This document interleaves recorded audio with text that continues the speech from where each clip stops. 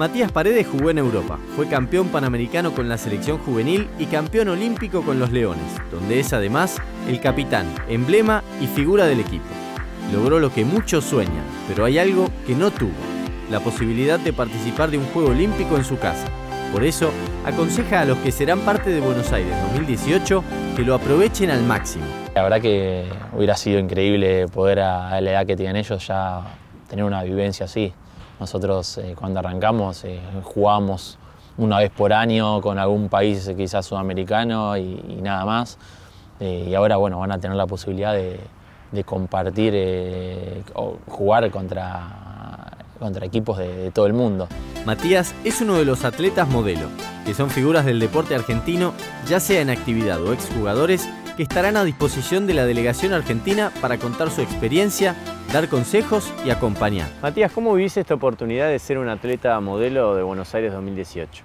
Bueno, la verdad que, es eh, un orgullo que me hayan nombrado y, poder participar de, este evento tan importante. Eh, así que nada, contento y tratando de disfrutarlo y tratando de transmitir toda mi experiencia y, bueno, y compartiendo con los chicos también eh, esa semana que, bueno, va a ser inolvidable para todos.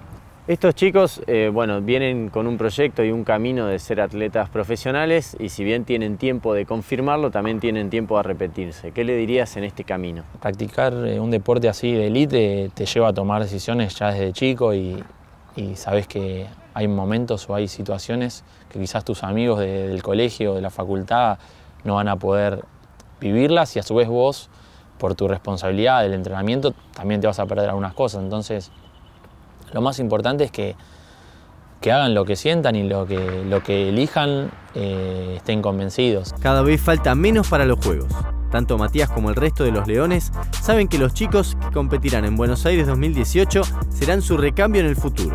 Pero para poder llegar en condiciones, Matías les aconseja tener valores. Lo más importante es que adentro de la cancha se forme un lindo grupo, dentro y fuera de la cancha, y, bueno, y siempre apoyando, sobre todo en los momentos que las cosas quizás no salen o no están saliendo como uno quiere, creo que ahí es el momento de poner todo ese entrenamiento y todas esas horas que uno quizás le puso para, para llegar de la mejor manera, bueno, ese es el momento de que, los momentos difíciles cuando los equipos sacan lo mejor de sí y bueno, creo que eh, el compañerismo y, el disfrutar todos de, lo que están haciendo creo que es el, mayor eh, punto a favor y, e importante que tiene que tener un equipo.